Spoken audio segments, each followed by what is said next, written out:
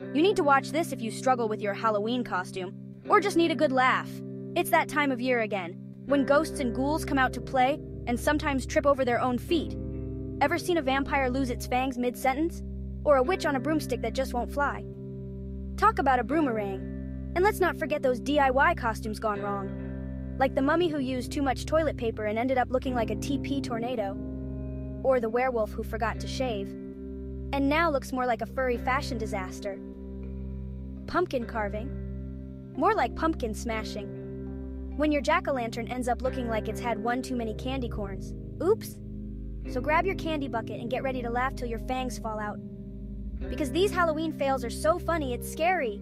Don't ghost us. Hit that like button, subscribe, and share with your boo crew. Happy hauntings!